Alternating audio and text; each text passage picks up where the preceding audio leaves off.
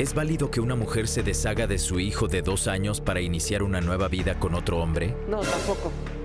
Es tu obligación, es tu hijo, es tu responsabilidad y, y, y, el que tengas un hijo no implica que tú puedas hacer una vida con alguien más. Si te quiere con tu frutito, pues se tiene que quedar completo, ¿no? Eso es lo peor que puede hacer una mujer, deshacerse de su niño, ¿no? Ella tiene que afrontar las consecuencias. Como mujer valemos mucho y, tiene que enfrentar las consecuencias como madre soltera y sacar adelante a sus niños. Bueno, pues estamos hablando de un tema eh, más común de lo que podemos imaginar, de cómo se puede dar en adopción a un bebé sin pensar en las consecuencias de absolutamente nada. Pensar, eh, pues no precisamente con el cerebro, sino, y tampoco con el corazón, ni, con la víscera, ¿no? O sea, actuar con la víscera total y absoluta. Alonso, en el caso de Brandon, a Brandon no le dieron la oportunidad de reconocer a su bebé. Y su bebé ya tiene dos años de edad. Pero sí ha sido reconocido por la abuela, Laurentina, como hijo de Laurentina, ni siquiera como hijo de madre soltera, que es Adilén, ¿no? ¿Qué tendríamos que hacer y qué delito se pudo haber cometido aquí?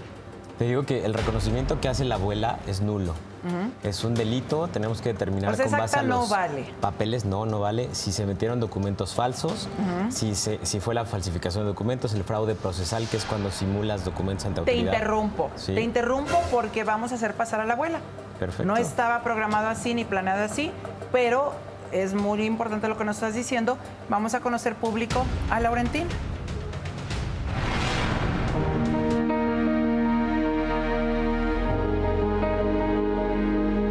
Ahora que tengo a mi nieto, yo sí veo por su bienestar y lo quiero como a un hijo.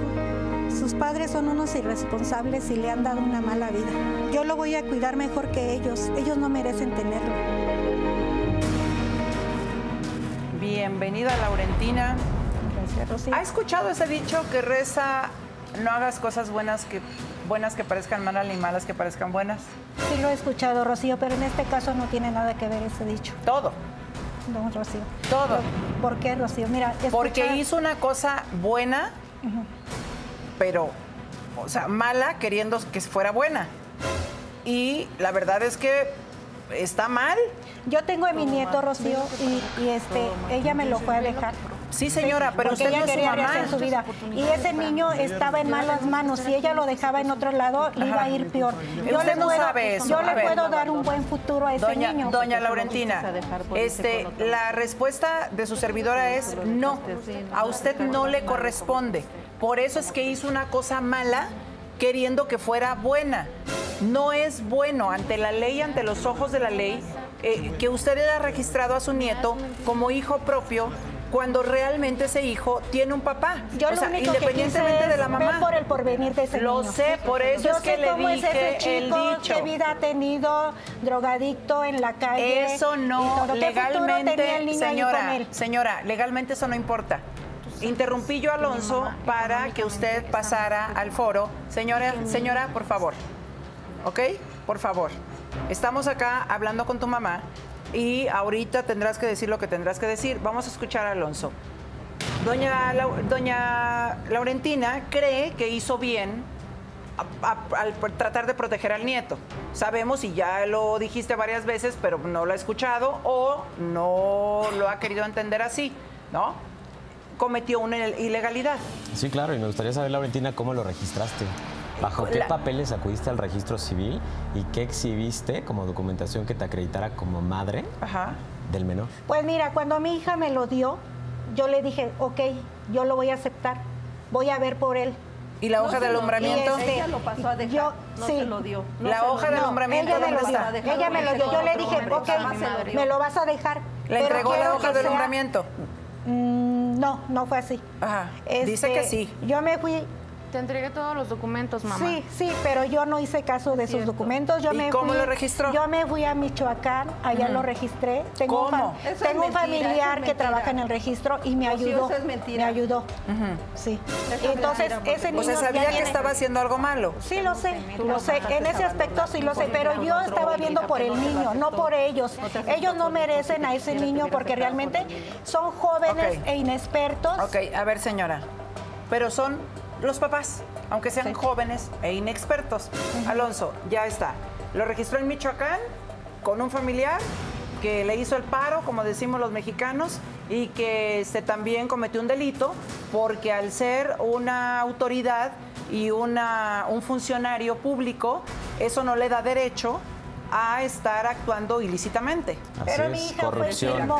Ella me lo hablando estaba del dando delito en de adopción cohecho. con consentimiento Falsedad de de ella que era la documentos. madre. Por favor, escuche. Fraude, que lo, que lo dio, que aparentemente su hija fue y se lo dio en adopción No, lo pasó a frente dejar, a la autoridad. Aún Eso así, tiene que existir el acta de nacimiento del menor donde fue reconocido por la mamá. Posterior a esto tiene que haber un reconocimiento y la voluntad de dar en adopción. Se le tiene que dar aviso al padre. Él estaba localizable porque estaba en un anexo. Vulneramos ese derecho. Claro. Posterior a esto tuvo que haber falsificado las actas el familiar del registro civil y por tratarse de provincia entonces expidió un acta de adopción que también es ilegal porque la adopción, lo repito, no aplica para familiares. Era tan sencillo que Laurentina fuera el juez de lo familiar, mencionara que su hija había abandonado al menor, que el papá estaba en un anexo y que ella sí iba a ser responsable sin necesidad de meternos en tantos delitos. O sea que no fue un delito, sino fue una serie de delitos. Un concurso de delitos en el que se va a tener que hacer la suma, va a tener que hacer- realizarse las investigaciones ante la fiscalía, porque si todo cuadra y la fiscalía determina incluso robo de infante, se van a un delito grave y pues ya no nos vemos afuera. Merecido Ay, se lo tiene. aunque sea la abuela. Porque me lo hubieras dejado a mí todo Y esto aunque sea la mamá la que haya consentido eso. La realidad Si es te que querías ir eh, con ella no lo Por favor. Azucena. Me lo hubieras El dejado a mí. consentimiento hubiese- se hubiese dado si aquí en la ciudad se realiza ante la autoridad judicial esa declaración y le dan el derecho al papá de expresar también ese consentimiento. Como saltamos y vulneramos esos derechos, pues es el fraude, la falsedad y el concurso de delitos hasta el robo. Brandon Sí. puede recuperar a su bebé. Puede recuperarlo. Su derecho está vigente porque no le dieron la oportunidad de exte- extenderle la, la oportunidad de darlo en adopción.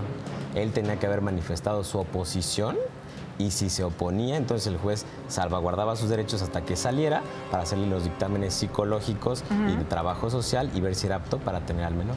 Después de este consejo, yo quiero que nos respondas también. Dadas las circunstancias, que es una serie de delitos o un concurso de delitos, Sí. como le dices tú en el argot este, eh, Legal. legal, Brandon pudiera pelear quizá la custodia y la patria potestad de ese bebé Es después de esto, de este consejo. Y bueno, deja la ansiedad. Ahorita te voy a dar un tip para la ansiedad.